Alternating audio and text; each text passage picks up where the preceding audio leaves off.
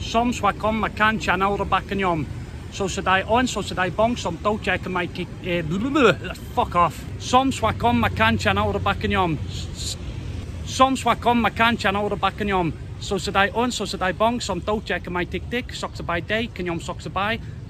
Can yom boomerang, some do, can yom clean, can yom ockham lang. Da jabadam. We got there in the end. Sorry about that. I don't know what happened. We're going to have a little talk today. What I'm going to do, I'm going to give you some tips for when you're moving out here. Now, I understand that I posted a video on tips a while ago and I have deleted it because I look back on it and it could have been better. It was a bit cringe as well. To be honest, uh, you know, I was there with my shirt off, you know, number one tip. I was like, I, have got to do another one. Plus, I want to um, give you more information as well because I've been here a bit longer now, okay, and I've, I've, I've become a bit wiser and I'm a bit more comfortable on the camera as well. So we'll, um, we'll go from there, okay? Stay tuned. We'll go for a nice little walk also, yeah. You can see some, um, some I don't know, benches and stuff. I don't know, just listen, okay? This is important. Okay, so tip number one, learn the basics of the language before you come here, okay? Now, it's not that hard. The basics aren't hard, okay? The tones, yeah, but there's not much vocab to actually teach. Trust me, there's not as many, there's no, there's hardly any synonyms, okay? Cambodia don't really use idioms and, and stuff. It's only, it, you know, for example, how you say bye, chumbri player and Lehigh. There's two ways. There might be more. Um, if there is, I'm sorry. I've, I've only been told there's two. Um, obviously in England, there's loads of ways you can say goodbye. Okay, this is what I mean. That there's hardly any synonyms. There's hardly any um, idioms. So it, it's not it's not that hard to learn.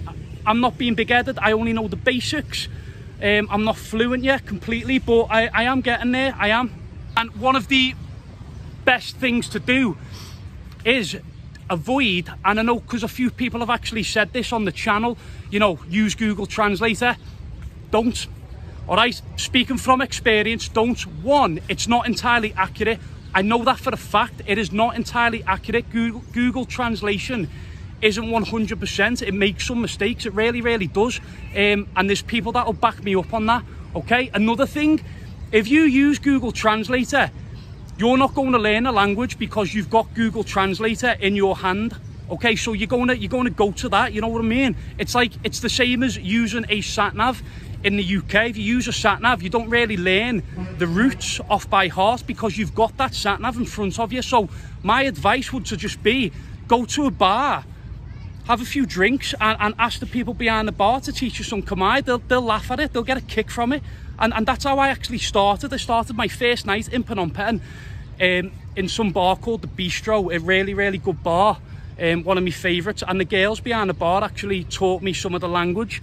Um, and it started from there. And, you know, they're really, really cool about it. And then the next day I'd come in and I'd practice it and just go from there and see what happens and experiments, okay? But you, you've, you've got to put yourself out there. If you're just going to use Google Translator, I guarantee you'll be using it all your time while you're here.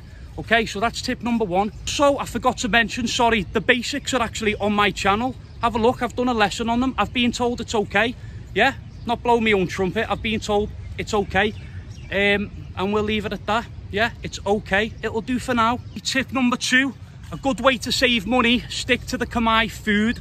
I might have mentioned it before, so I apologise for repeating myself, but stick to the Khmer food. That way you will save money. The Khmer food is cheap as chips, okay? It's like $2.50 for a good, decent meal, you know, and you get your rice, you get your veg, you get your uh, meat, you get it, you get everything on one plate, so it fills you up. Okay, it's good food, it's good for you, it's healthy. Okay, and you'll save a lot of money. The Western food round here, Phnom Penh, Siem Reap especially, round here, round Svay, we've not really got much Western food. Okay, but again, it's still it's still more expensive than the actual um, Khmer cuisine. Okay, so if you want to save money, stick to the Khmer food. Okay, and it's good for you. Okay, it's a good tip. Tip number three, okay, this doesn't apply to everyone. I know some people might want to go to the big cities. Some people are just visiting. This really applies to the people who want to, you know, change of life. They want to change of scenery. And the advice would be to go to a rural area. Yeah, stay in a rural area. Even if it's just to start with, that way you will save money, okay? And you've got no choice but to pick up the language and you'll embrace the culture more, okay? Because there's not that many expats, okay?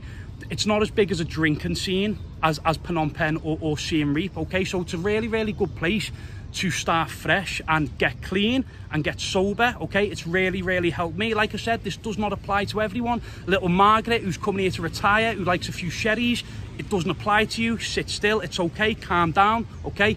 You can go to Pub Street, this does not apply to you, okay? This applies to people who want to come here to change their life, okay? I would recommend going to a rural area, okay? Yeah, have a look at some of the um, provinces on the outskirts, okay? These are the places I'm talking about because there's so much nature. The people are amazing. There's not that many expats, okay? Nothing against expats. I'm one myself. I'm just saying, if you stay around that community, you're not going to learn a language. You're not going to get used to the Khmer food, okay? You, you basically, you, you could go back to your old, um, your old ways. That, that's all I'll say. Okay, so that's tip number three. I'm to, um, I'm to get, I'm, I'm to sit here. I'm to get some shade because it, it's too hot. I'm sweating, man. Ugh. Right, okay. There was a guy um, asleep behind that tree and I've just woke him up. I feel terrible. I didn't know he was there. Um, tip number four. I don't know, can't think. That's it, I've remembered. Okay, tip number four, be very, very careful of the pharmacy. Okay, now, it's great because you can get anything you want at a good price, which is how it should be in my opinion. In the UK, they send you on a wild goose chase to try and justify the prices of what you need, in my opinion. That's why they ask you questions like, you know, do you know how to take these? Do you know how to take these? It's like, yeah, you, you eat them. You, you know, what, what else do you do? You start sticking them in your ear.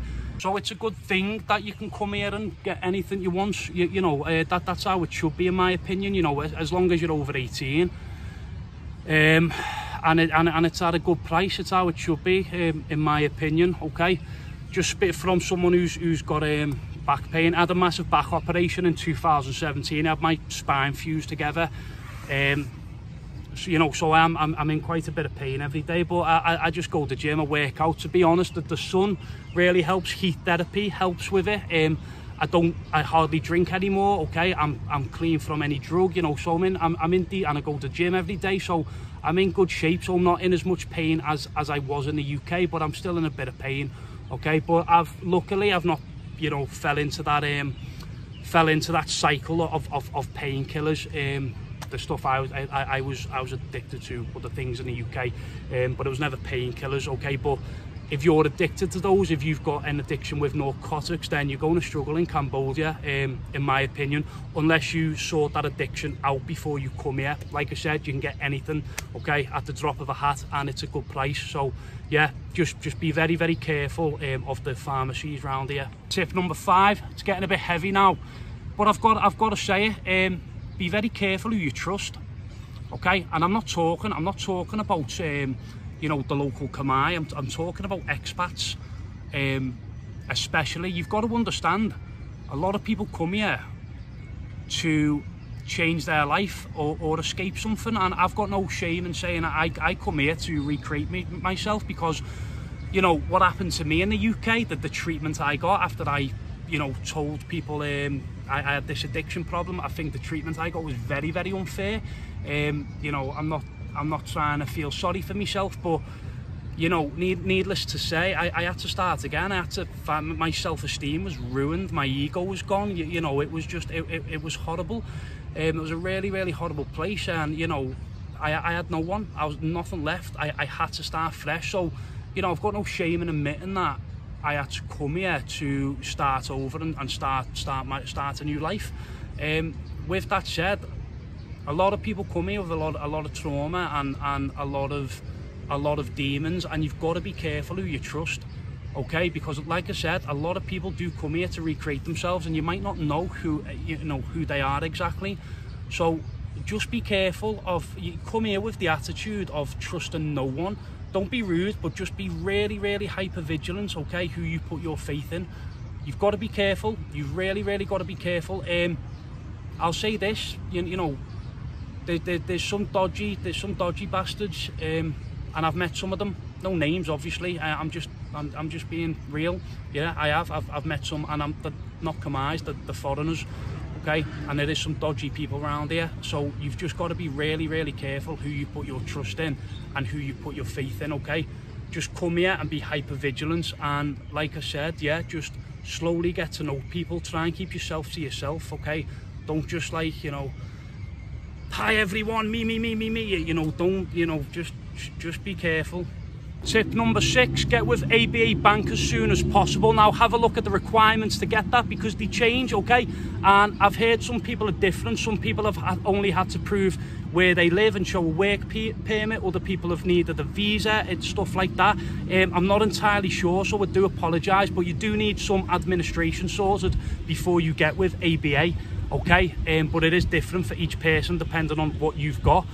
So yeah, get with ABA Bank as soon as possible. They're a good bank, they're very reliable. That way you're not spending money when you're making cash transactions. Um, you'll get charged here in the machines and your bank from home, they'll charge you too, you know, so worked out. I was getting, I was getting charged about, um, I think it was $5 here and, and £5 in the UK for each transaction, you know, so you've got to be careful um, maybe draw draw a big clump of money out to start with. That way you're not uh, small transitions or uh, sorry you're not using small transactions all the time and you're going to waste more money okay? And like I said get with ABA Bank as soon as possible. ABA are the best ones um, in my opinion okay? And it's just an app on your phone and then you've got your contact list that works as a card for you. You've got all your details there on your phone and um, you can transfer money um, and stuff like that. It, it, it's a good bank okay? And, and they're reliable. So far so good. So yeah get with ABA Bank as quickly as possible. Your requirements may differ okay? Yeah. Tip number seven. Use riel rather than dollars. Use riel rather than dollars okay um, and you can look into this okay? Basically in a nutshell there's just less chance of you being ripped off if you use riel rather than dollars okay? Yeah so tip number seven use riel don't use dollars. Tip number eight buy a scooter okay? You can buy a second-hand one from a shop um, for about $400 okay? Um, they're very very cheap to run it's easy to drive around here. You've just got to take it slow. I promise you. You've just got to take it slow. It's a bit more hectic in the cities, especially like, you know, Phnom Penh.